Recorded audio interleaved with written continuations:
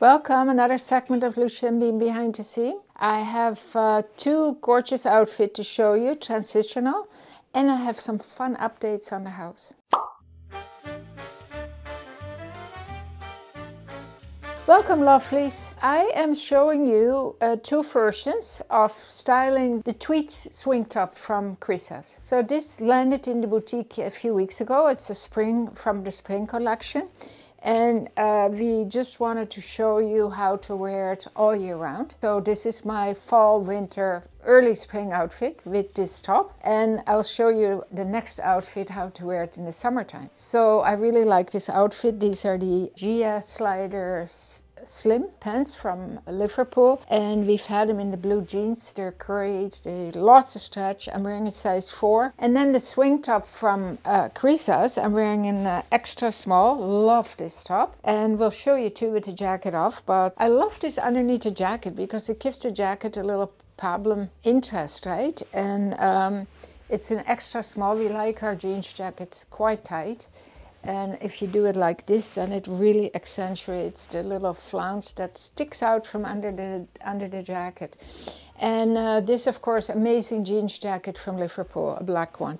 And a lot of compliments and a lot of great different ways you can we should do a video on a jeans jacket actually on how different ways to wear it because it's not just a piece in your wardrobe it's a staple everybody should have a jeans jacket or a few. And then the boutonnieres are refreshed. We have a whole new array of boutonnieres. And I picked this one because of the chartreuse, of course. And I picked this amazing scarf with a little, it's black and white. I love this scarf. It's got these little tassels on it. It's got this great black and white motif. And then it's got a little bit of a chartreuse line running to it. It's a beautiful fabric. I thought it would go really nice with this whole ensemble. I will take the jacket off and show you what it looks like without the jacket. So the top, amazing this fabric, right? It's cat's meow. This is a great winter top. I'm gonna show you uh, the summer version of this lovely top.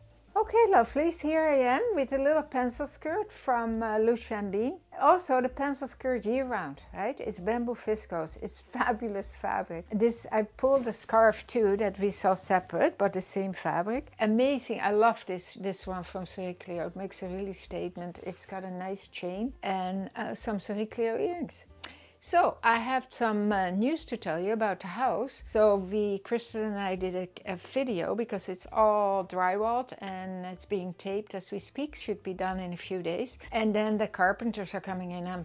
Very, very excited. It's, it's a fun time now. So we are looking at different things. You saw the story on the dining room table, which is very exciting. And now we are looking at the fireplace in the living room. We really, especially Glenn, really wanted a wood burning fireplace. Well, it's the, the fireplace itself is not functioning. So that is out of this world. Uh, but when we were in the Netherlands, we visited a few people, including one of my sisters, who has a little wooden fireplace, a little box thing and, and you open the door, you put the wood in and the chimney goes right out the wall. I don't know how the technical thing works with the chimney yet, but anyway, it's so it would stand in front of a fireplace. So we went to Stamford Fireplace in Niagara Falls and we looked at one and um, we got different, you know, different information on it. But then uh, we also found out that in those days they burned coal, of course. So you can get a gas insert uh, with coals burning. And we have to do a little bit, we have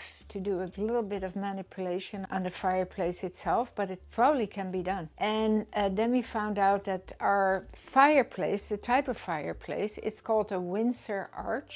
I believe. And it was the fireplace in those days. So it is the original fireplace that is in the house, which we thought it was. And so we're excited about that. So now we have to make quite a few decisions. And the decision on the fireplace, I'm leaning forwards more towards the wood and it's just a matter of money too right because everything is uh, getting up there and then uh, lots of things going on at the house right now next is uh, the baseboards that we salvaged we pulled them out when we just bought it. We pulled all the baseboards out. We had uh, all the nails are out and they were stored in the backyard under a tarp. We brought them into the basement to dry out and the carpenter looked at them and said, a lot of it can be used. Not everything because it's too rough, but definitely the dining room and the living room and that was and the hallway. And that's the most important part. So now we're looking at flooring, the kitchen is designed and we're looking at countertop and all those fun things. And what we've been doing, and I think it's a great idea. I've never done this before, but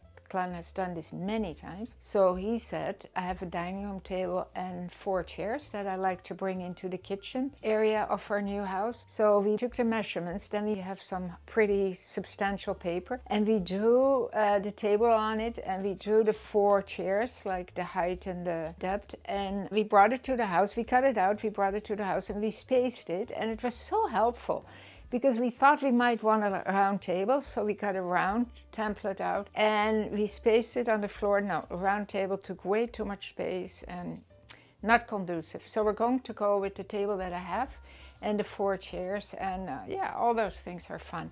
And I think it's really smart to do it because you can, if you, fortunately we don't have to buy that part, we have to buy a lot of other things, but not that part. But if you space it out, you get a really good idea where and what and how. Okay, lovelies, hope you like this segment and uh, you love this top as much as we do. It also comes in a wild berry, beautiful pinkish color. And as always, keep on smiling.